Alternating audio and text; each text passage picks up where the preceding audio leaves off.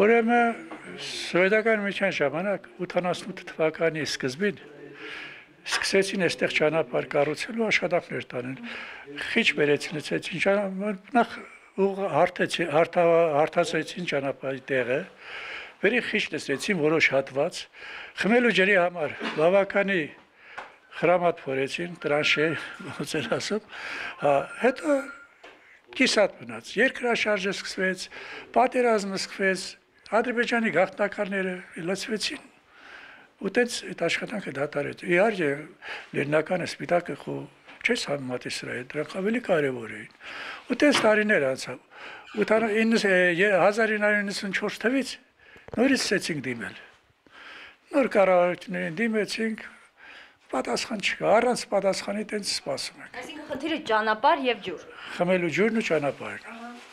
Բնակավայրի մասին անունը գրի։ Բնակավայրը առաջ սա կոչվում էր Երևանի այգեկան այգեգործական տարածք,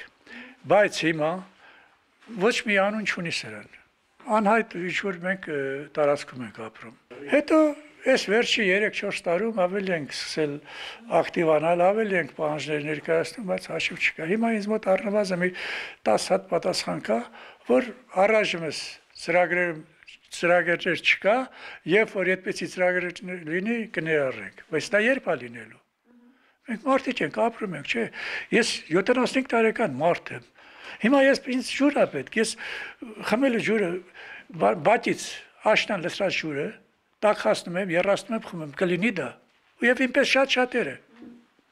Բարձա։ Իսկ բան հիմնական բնակվողները բավականին շատ են այստեղ, թե հիմնական մամարանոցների տերերը։ Չէ, հիմնականում մարդիկ որ տները կորցրել են քաղաքում,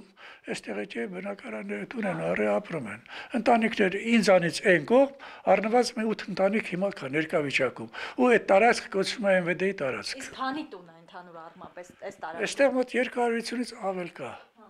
Ամառը նու 250 270 մարդ է լինում։